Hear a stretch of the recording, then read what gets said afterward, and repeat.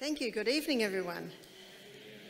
Well, welcome to the lecture tonight where we're going to go on a journey. I'm going to take you on a journey through your gastrointestinal tract. We're going to start with the mouth and we're going to end up at the other end. Your gastrointestinal tract is a hollow tube. And anything that goes into that hollow tube is not part of you or me until it gets broken down to tiny substances absorbed into the blood, then it becomes part of you and me. And last night, when we looked at the liver, we had a look at what happens when it gets absorbed into the blood. We actually followed the journey of how it gets into the cell. But tonight, we're going to have a look at the amazing process that transforms the food that's on your plate to microscopic little substances that can, then gets absorbed into the blood. So this hollow tube, anything that in is in it is not part of you or me until it gets into the blood.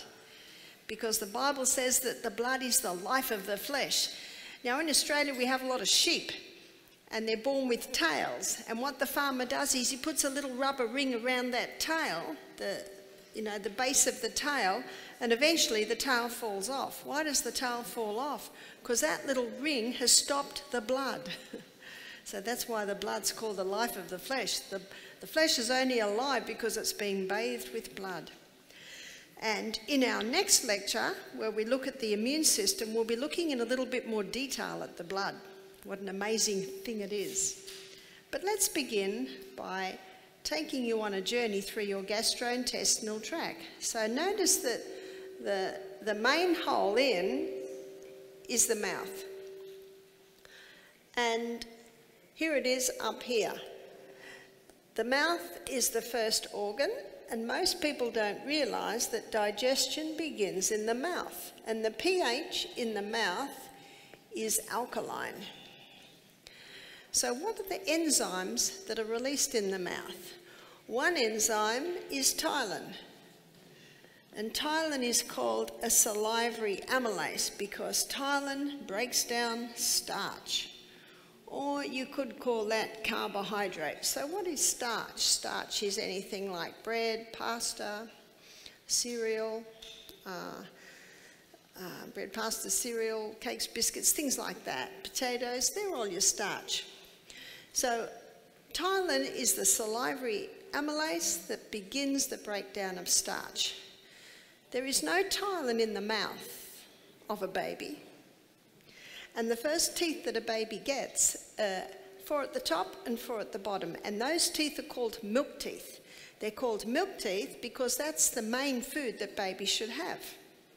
But it's also taste time. This is a good time for baby to suck on a piece of apple, suck on a gum away, maybe have little bits out of a celery stick or a stick of cucumber.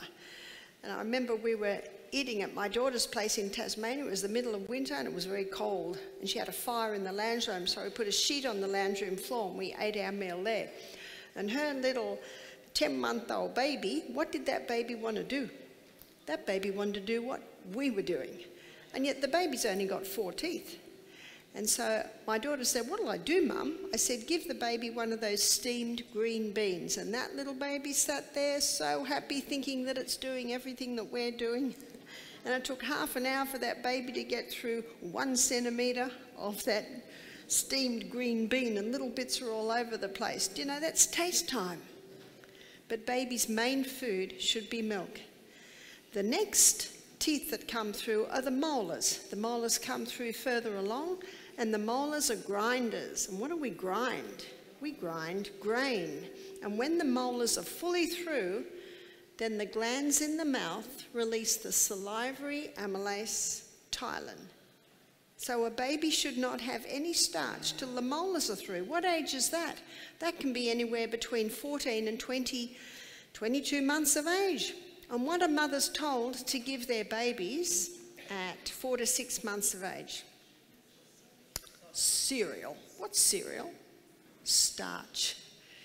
Did you know that that's where um, malabsorption syndrome can begin to be built up in the gut? Is way back then. Do you know babies were not fed starch? They weren't fed any types of food 100 years ago. 200 years ago. Now, I'll tell you a story to illustrate. I had a lady email me. She said, Barbara, my little baby, he's just not thriving. How old is he? He's 10 months old. What does he eat? Bread, pasta, cereal, vegetables. How many teeth does he have? Four. What's his stomach like? Bloated. But he's skinny, so she's feeding him more. Is he breastfed? Yes. So I explained to her, and I have a lecture on um, YouTube. It's called What Shall I Feed My Baby, which explains this. So she said, What'll I give him? I said, Just give him fruits and vegetables, but keep back the starches. She me back, Oh, his tummy's gotten right down. He's actually starting to put on weight. See, the poor child, he just wasn't, di- wasn't able to process or metabolize that food. So everything was good.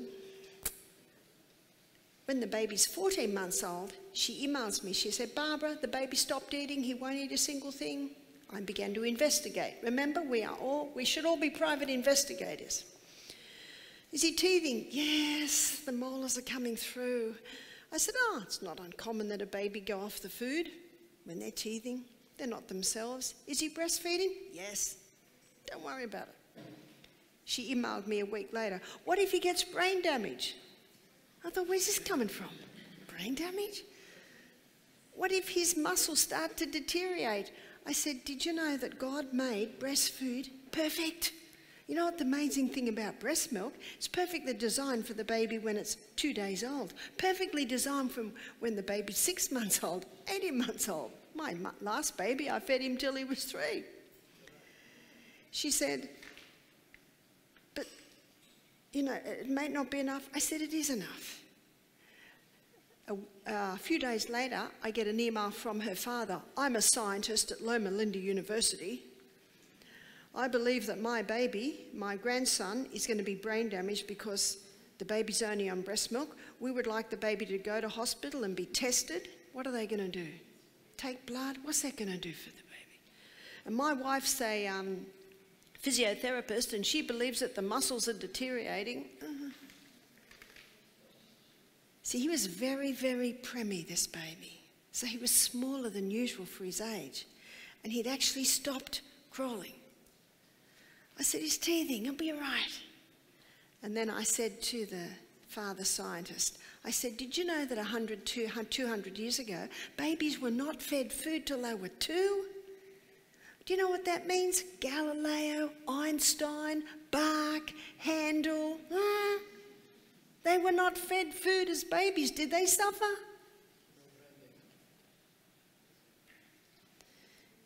And I said, What are they going to do to the baby in hospital? What if the baby gets so upset with all this blood being taken that it actually stops breastfeeding? So they backed off. Two weeks later, the mother emailed me, the teeth are through, the baby's feeding, eating more food. He started to crawl a bit more. I got an email from the father, from the grandfather, this girl's father. He said, Thank you so much. Can I give you something? I said, Oh, if you want, here's my bank details $400 in the bank. that man was very, very grateful. Because I, I, said, What are they going to do in hospital? Put an NG tube down the throat? Uh, force feed the baby? What's that going to Can you see how you have to take it to its end result? These things will pass. Of course, when they're sick, they're not the same. This is a very important subject because so many people have gut problems today because they were fed starch too young as babies. The other enzyme that's in the mouth, you have sublingual glands under your tongue, and they release lingual lipase. And lingual lipase is an enzyme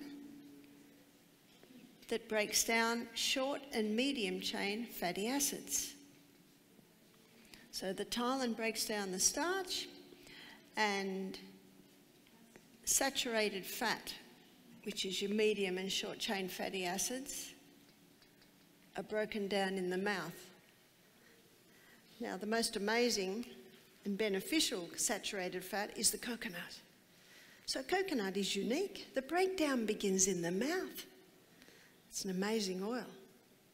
Now let's move on down to the esophagus, The food starts to come down here. By the way, before we move on, there are exposed bone in your mouth. What are they called? Teeth and they have a purpose, and that is to break up the food into very tiny particles. Did everyone hear that? Very tiny particles. I was at a restaurant one day, and the lady just across me, I think there were two, two chews, swallow. Two chews, swallow. I thought, wow, her poor stomach. the poor organs down there, they don't know what's coming down there. There are no teeth in the stomach. Hmm? What's the old saying? We should chew our drinks and we should drink our food. What does that mean? We should be chewing up our food until it's almost liquid. It's a good idea to put the knife and the fork down between mouthfuls and look at the view. If you've got a nice view outside your dining room window, we're such a fast society today, we usually just eat too fast. I think it's such an enjoyable time of the day. Why do we rush it? Some people say, well, I rush it because when I was a kid, my brother, if I didn't hurry up and eat, he'd eat my food. Yes, those sorts of things may start to happen. So it's important to chew, chew, chew. Why? Because there are no teeth in the stomach. And when you chew, you break the food down to tiny particles, which means there's a greater surface area for the enzymes to work on. And also, when you chew, you are mixing the food with saliva, and, and in the saliva are these enzymes, so the breakdown can begin to happen. There's something else. When you're chewing, messages are going to the brain. And the brain says, oh, there's a bit of starch in there. Oh, there's a bit of fat in there oh, there's a bit of protein in there, and then it sends messages down to the pancreas, down to the stomach, saying, yep, yep, there's a bit of protein coming, yeah, there's a bit. Can you see what's happening here? And the other organs are getting ready. But three chews swallow, three chews swallow, these organs are saying, what's coming? And the brain says, I don't know. oh, we, we don't know. It's not in there. Can you see there are several reasons why we need to chew, chew, chew, chew. Coming down the esophagus, there's a gateway in the stomach. It's in a double, double layered gateway and it's called the cardiac sphincter. And the cardiac sphincter opens when the muscles tighten to let the food through. And then as we get into the stomach, we get another stage of digestion. So the stomach is an alkaline, no, acid environment. In fact, that's the only part of the body that is acid. It's the only part of the body that should be acid. And tomorrow night we're going to be looking at the acid alkaline balance in the body. So the only part of our body that should be acid is the stomach. And if someone says to me, I've got a very acid stomach, I say, fantastic. It should be. But how do you know it's acid? Well, it hurts. Well, it shouldn't hurt. You see, we've got a thick mucosa lining on that stomach. So you shouldn't feel your acid. I can't feel my acid. Someone else said, well, it keeps coming up. Well, that's not the acid. The acid's not the problem. And by the way, if it keeps coming up, it can burn holes in the esophagus and the person can get an ulcerated esophagus. Can you see now it's not the acid? The problem's not the acid, the problem is that gate. So, why isn't that strong? Well, there are many people today who are eating breakfast like a pauper, lunch like a pauper, and the tea is the king and the queen together because they're so busy.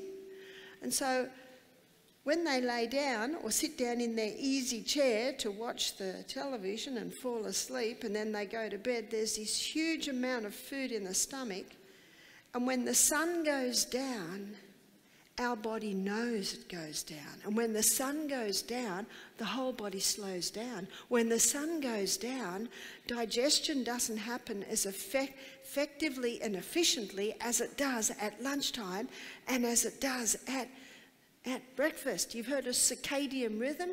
circadian rhythm is set in our body by light and dark signals. When the sun goes down, there's a whole lot of messages going into the brain.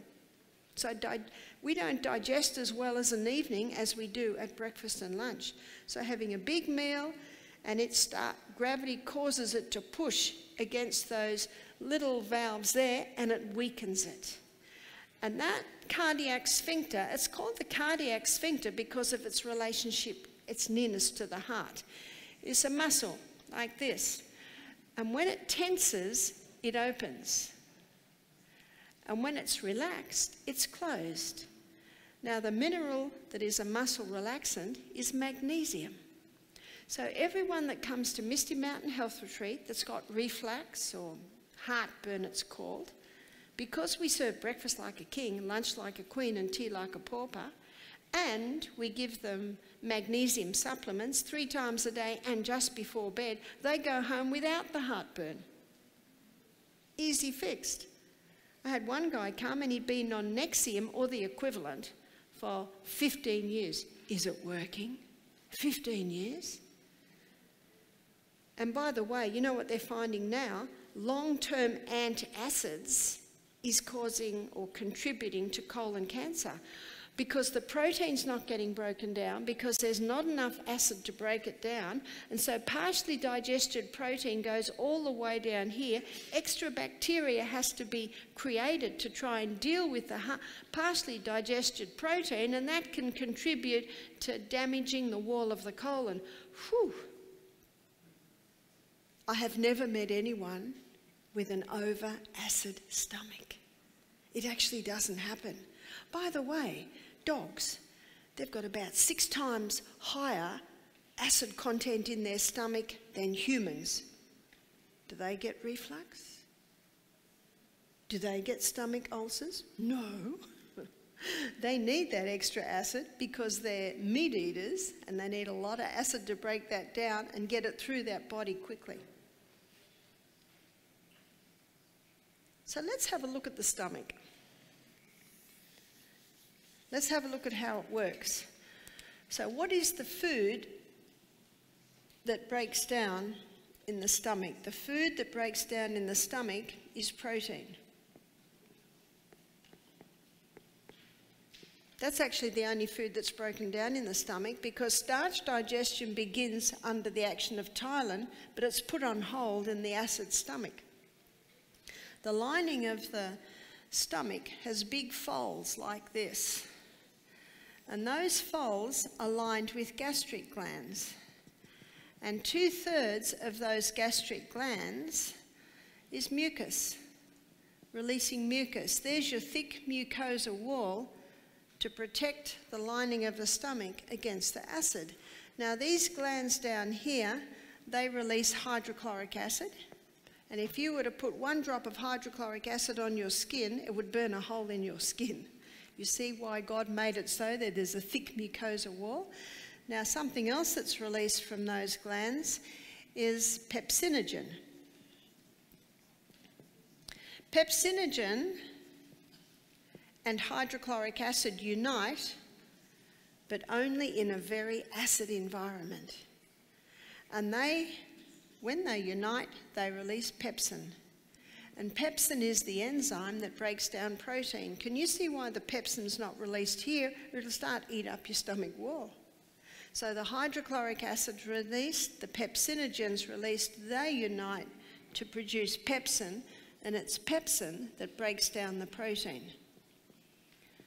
Pepsin will only work or only be activated, I should say, in a very acid environment. So if someone's drinking with their meals, they water down the enzymes in the stomach.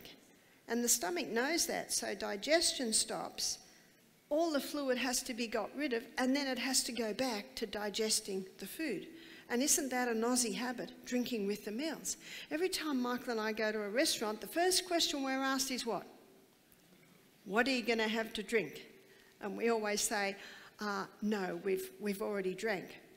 Oh, well, we'll just bring you water. Now, we let them, because otherwise they'll never leave us alone. We're such a fast society. People are busy, busy, busy, busy, busy, no, no time to drink, sit down to eat. Oh, haven't drunk. Is that right? we should be we should stop drinking half an hour before the meal and that means that we've got a nice acid environment, and then resume drinking one and a half hours to two hours after the meal. If you sit to eat your meal well hydrated, you will not need to drink with your meals. In fact, at Misty Mountain Health Retreat, we don't serve water with the meals. And I have people say, I keep reaching for the water. I said, Yeah, that's the habit. That's what we're going to look at on Saturday morning, rewiring that. And you can rewire your brain. But I'd like to speak a little bit about hydrochloric acid. Hydrochloric acid isn't just to unite with pepsinogen to produce pepsin.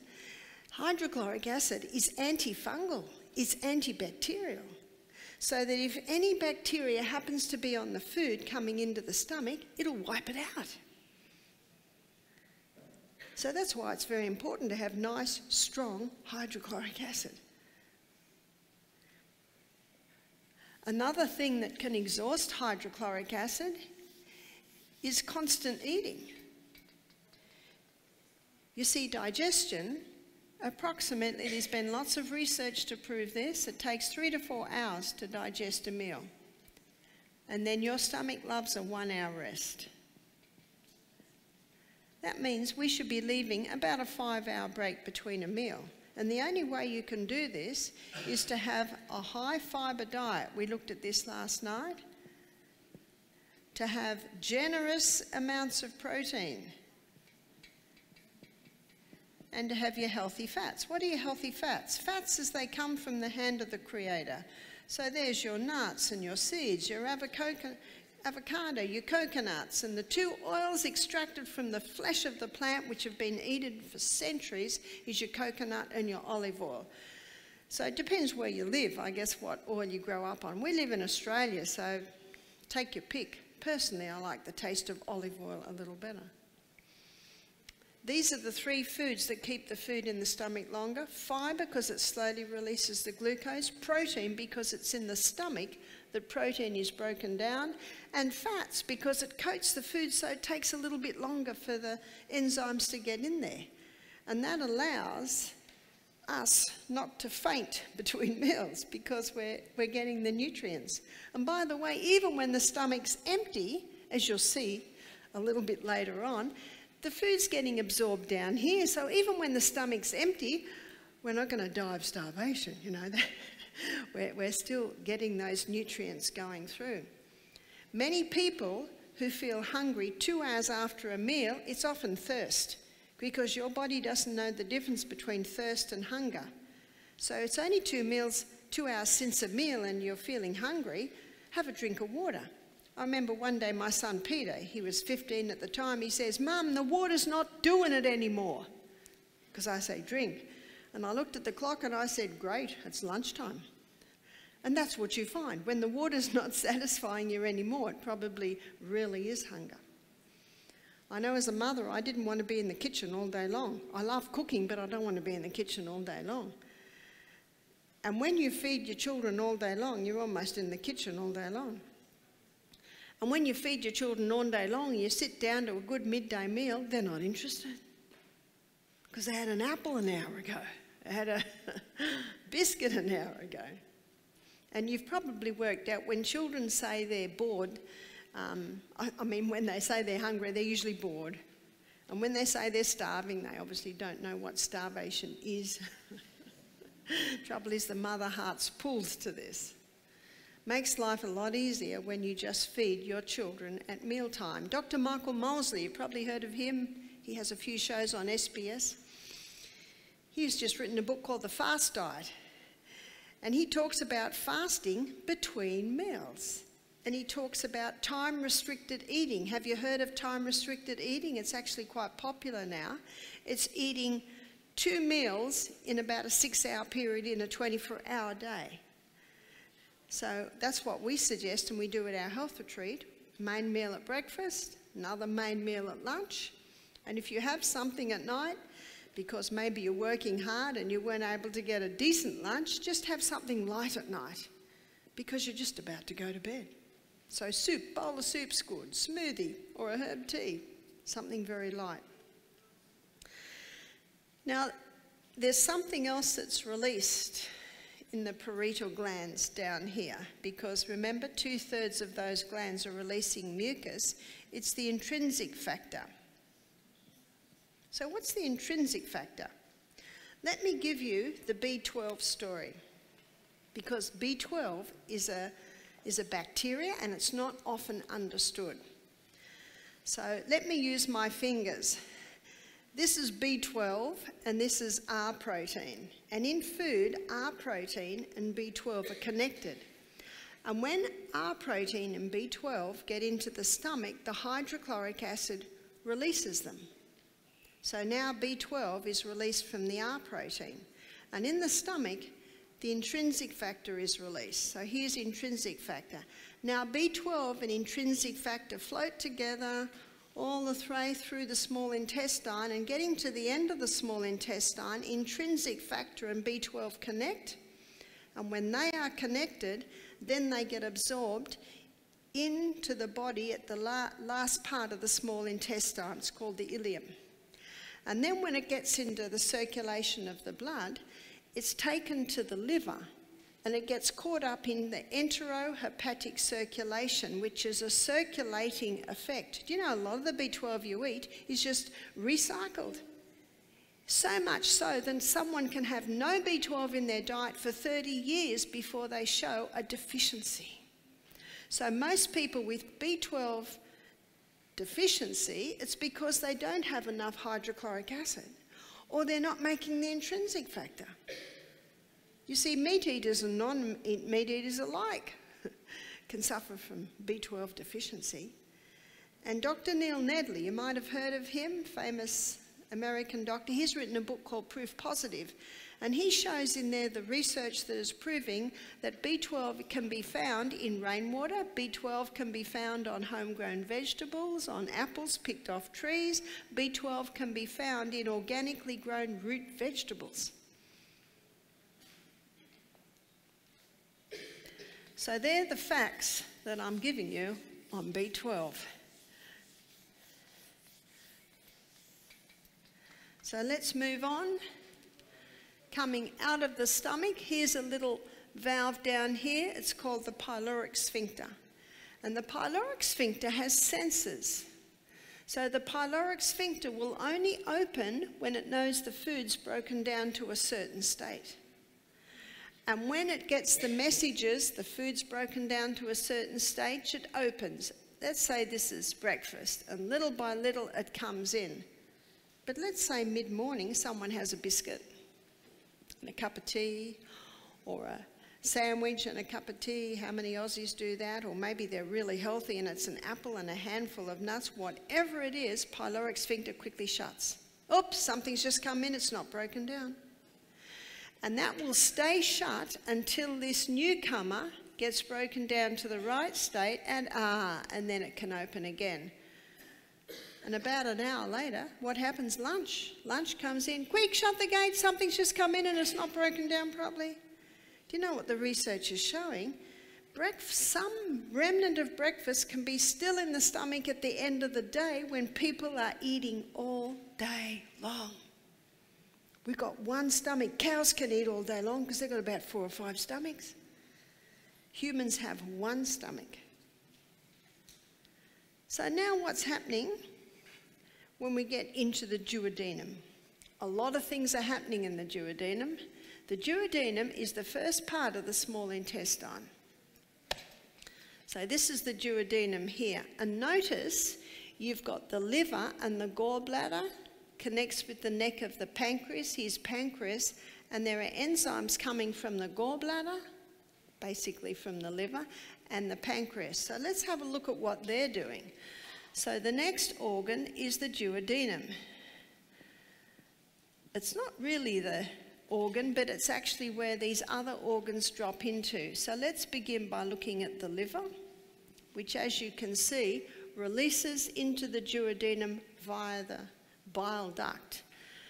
Now, when you get to the duodenum, now we're in an alkaline environment. We're back to alkaline now. Remember, the only acid is stomach. So, what's the liver releasing? The, re the liver releases bile, and bile breaks down your unsaturated fat. Whereas the saturated fat, remember where its breakdown begins? In the mouth. So, what bile does, it breaks down your unsaturated fat into tiny little particles. Pancreas.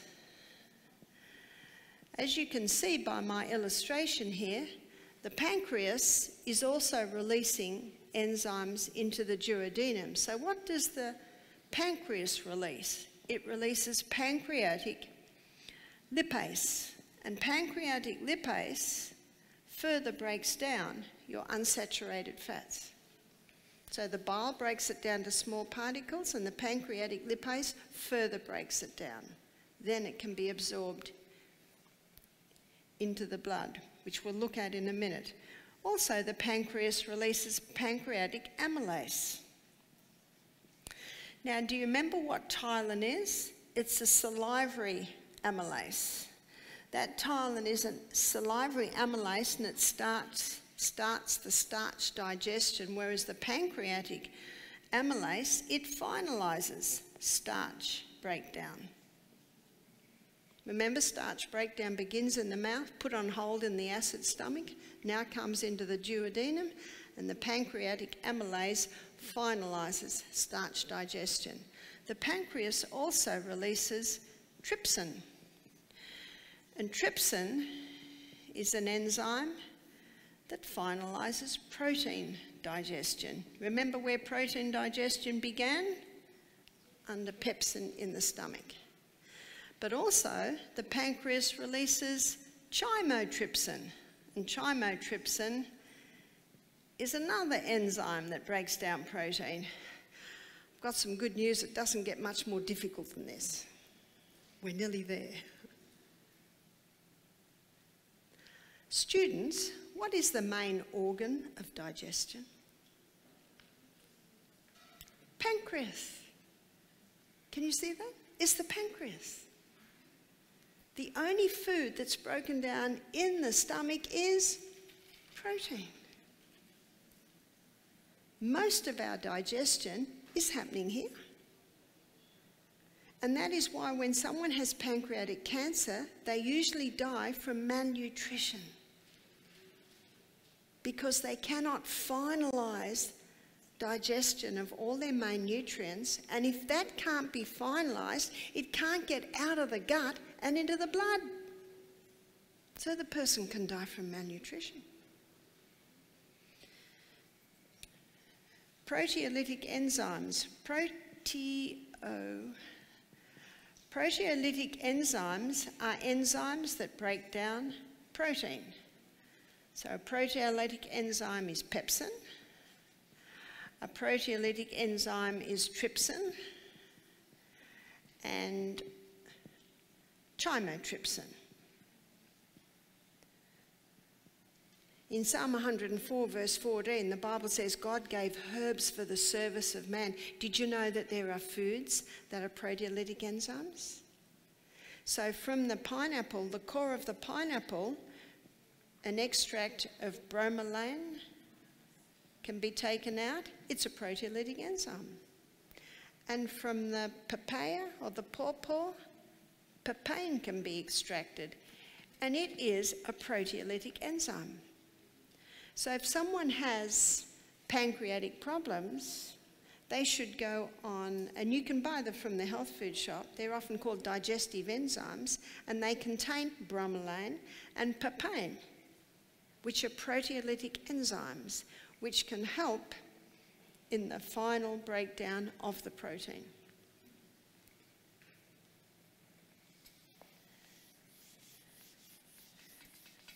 Before we move on further, what if someone has low hydrochloric acid? How can they boost it? They can boost it by eating breakfast like a king, lunch like a queen, tea like a pauper, by not drinking water with their meals. But if they have the juice of a lemon in a little bit of hot water just before the meal, that can get the acid up. And a quarter of a teaspoon of cayenne pepper in a little bit of water just before the meal that'll wake anything up. And did you know that cayenne pepper can heal a stomach ulcer? Black pepper can't, chili pepper can't, only cayenne pepper can. Because cayenne comes from the capsicum family, chili from the chili family. Well, students, we're, we're just arriving now at the grand finale of digestion. Do you remember what I said? Anything that goes into your gastrointestinal tract is not part of you or me until it gets broken down and taken into the blood. Lining the small intestine are villi, and the villi basically look like this. And up the middle of the villi is a lacteal. That's part of your lymphatic system. And then all through the villi is your blood capillary network. Now, covering that villi, and we looked at this on Tuesday night, is a thick turf wall, and it's made up of Lactobacillus acidophilus bifidus bacterium. Makes a thick turf wall. And that thick turf wall plays a very important role in the final act of digestion. Did you know that when a baby's in utero, there's no, there's no gut flora? Their gut is what's called sterile. And when the baby's born, it's literally showered with the mother's microorganisms. And colostrum, that thick, creamy substance that's in the milk in the first few days, it's rich in the gut flora. So, what happens when a baby's born and when it has that colostrum? Did you know that a farmer, if the mother dies in cowbirth, in cowbirth, is that what you call it? If the cow dies in childbirth, what the farmer does, and a farmer told me this, they squeeze that udder and get it into that little calf's mouth. It is so important that that baby calf get that colostrum. In fact, he said, if we can't do that, we may as well kill the calf. It will never, ever be strong. Let's take that to human standards. How important is that? You see, the role that it now plays, this gut flora, it's responsible for the final breakdown of our food. It's, res- it's responsible for the absorption of the nutrients out of the gut and into the blood. It's responsible for protecting the blood against any harmful pathogens that might be in the gut. It's responsible for the nourishment of the little cells that line the gastrointestinal tract. How important is that gut flora? So, what would break it down? Antibiotics break it down. All your statin drugs break it down. Contraceptive pill breaks it down. Cortisones, prednisones break it down. Ibuprofen, regular use breaks it down. Now, when you've got gaps in your gut flora, you've now compromised the final breakdown of your food. You have now compromised the absorption of your nutrients through to your blood. You've lost your border protection. And your cells that line the gut have now lost their nourishment. How important is that gut flora? Hippocrates said all disease begins in the gut, and he didn't know the fine details of what I've shown you tonight. So, what happens if you've lost your gut flora? It can return. How do you return it? And how do you know? In fact, some of the symptoms are diarrhea, some of the symptoms are constipation. It's called irritable bowel. And that's the connection with chronic fatigue syndrome. The person's not getting the nutrients out of their gut and into their blood, so no wonder they've got no energy. You see, God made it so that we've got strong acid in there to wipe out any harmful pathogens. But oh dear, the person's drinking with their meals. Oh dear, the person's eating all day long. They're stressed out with their meals. So hydrochloric acid's low, so the microbes are getting through. Further down, it's all right. It's all right, we've got another system further down to protect. It's the gut flora. Oh no, they've lost their gut flora. Can you see the two processes to protect the blood have both gone down? And so harmful pathogens can get into that blood. So, how do we heal from irritable bowel syndrome? Number one, stop. Stop the foods that irritate the lining of the gut. What are the foods that do that? Caffeine, refined sugar, the hybridized wheat. We touched on the hybridized wheat last night, and I'm going to explore it a bit more tomorrow in the acid alkaline lecture. Dairy.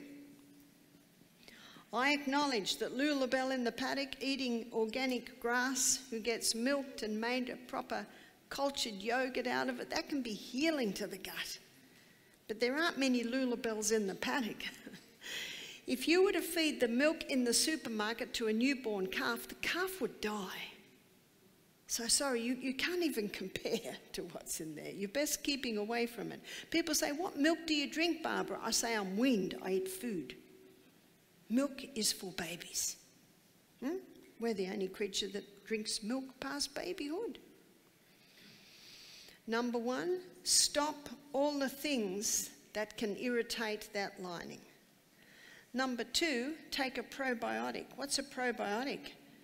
A Lactobacillus acidophilus bifidus bacterium supplement. Do you know they are the two uh, permanent bacteria that live in your gut? All the others come from those two. Number three, do you remember Psalm 103, verse 14? God made herbs for the service of man. There are two herbs that coat, soothe, and heal the lining of the gut, and they're both a bit slimy because the lining of the gut is sliming. I think we all know aloe vera. And aloe vera has a growth stimulant. It stimulates rapid healing in the lining of the gut. The other herb, when you put water with it, it just goes a bit slippery. It's called slippery elm. And slippery elm coats, soothes, and heals the lining of the gut. Is it that simple? It is. Let me give you a story of a lady that came to this lecture in New Zealand when I was there about 18 months ago. She said, I'm 70, I've had irritable bowel syndrome for 30 years. She's been on cortisones, anti inflammatories. She said, The things that you have told me tonight, no one has ever told me. She said, No one ever told me that these foods were irritating my gut. She was very excited. That was Tuesday night. She went home, she immediately implemented everything she'd heard. She had coconut cream on her breakfast instead of cow's milk. She had a bit of honey on her breakfast instead of sugar. She stopped the wheat and bought some spelt sourdough bread. I think she had some millet for breakfast instead of her oat. Some can handle oats, some cannot. She started to have a dandelion instead of a coffee. She immediately implemented. She's 70, 30 years she's been struggling with this. Thursday night, what's that? Two days, two nights. Thursday night, she came up to me and she said, I've stopped bleeding from the colon. She said, I have no more pain. She said, instead of going six times a day, she said, today I went three times. Wow. Two days. Is she healed? No. But she's on the road. You're the doctor. What has her body just told her? Yes. Yeah? Those cells that line the gastrointestinal tract, they, they're every three to five days. So the gut can respond very quickly. Where's my little two letter word? If you give it the right conditions. I have seen that happen again and again. How often did she take slippery elm? She was taking it before every meal and before she went to sleep at night. So it coated, soothed, and healed the way down. If someone's going to the toilet 10 times a day, they can take slippery elm every half hour. You see, you play with it. You play with it. as the healing happens, you can ease back on it. Most of your food is absorbed by the halfway down your small intestine. And then we come down to the ileocecal valve, and that ileocecal valve here stops anything going back that way. Everything coming out of your small intestine into your large intestine is a little liquid. So, one of the main functions of the large intestine is to take water out so stools are formed so you can pass with ease. So, what happens if you've got the other problem, which means you go once a week or twice a week? Dr. Kellogg said three intakes of food a day should equal three evacuations a day. So if you eat 10 times a day, how many times should you go? Mm. So, what can we do to make sure we are going regularly? Drink adequate water. If you're dehydrated, more water gets taken than, out than should be taken out. Eat plant foods. Plant foods sweep the colon. And by the way, is the appendix a mistake? Does God make mistakes? No. well, what's the role of the appendix? It has two main roles. It's called the colon's oil can. It lubricates the contents to get it through easily and it also releases antibacterial fluid so that if what's coming out of here is toxic, how would it be toxic? If a person's eating a high meat diet which putrefies and a lot of sugar and alcohol, what's coming out of here is pretty nasty.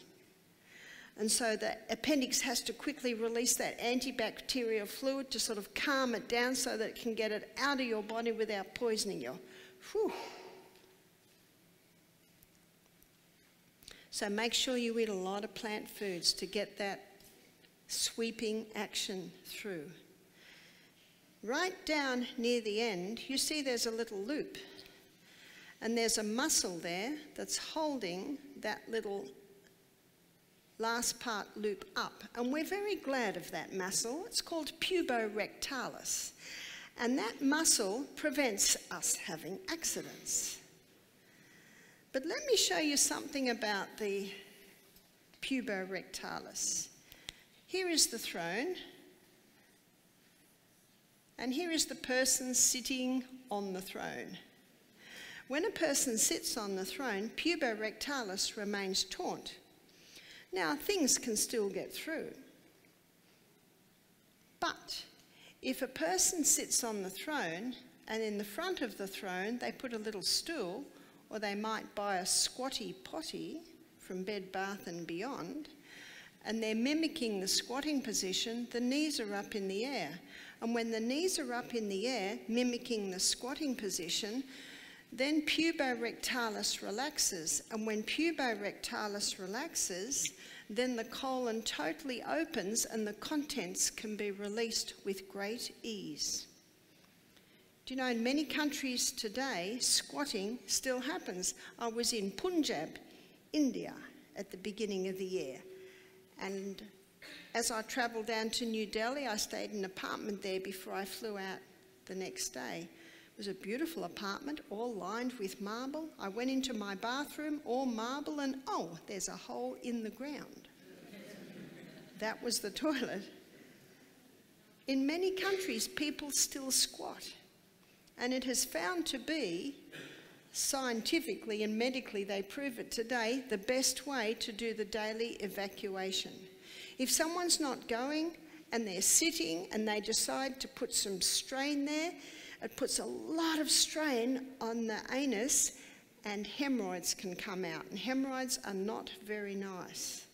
So squatting can heal hemorrhoids, squatting can prevent hemorrhoids because squatting takes all the pressure off the anus.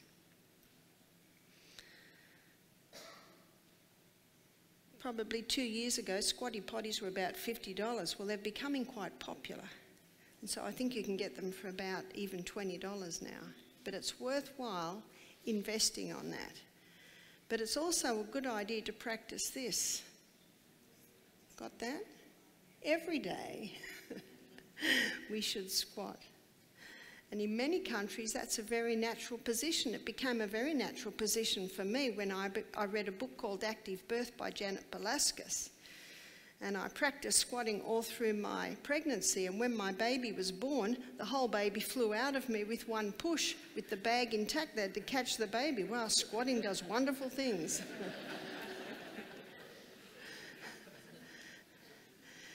because squatting opens that whole pelvic area. So it's very important to practice squatting. If you see, when, when you do squat, when you're coming up, all the pressure's put on your quads, your thighs. So if you can't do that, just go up and down like this every time you're washing the dishes or doing things and get, get those muscles strong again.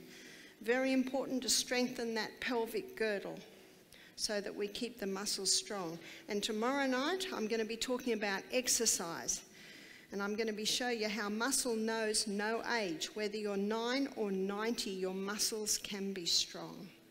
And what's really sad that many people today getting into their, believe it or not, 50s, 60s, 70s are having prolapses purely because their muscles aren't strong enough. But if you get into the habit of squatting to go to the bathroom every day with that little stool in front, and even getting into the habit of squatting in your daily exercise, you can strengthen that pelvic girdle so these things do not happen.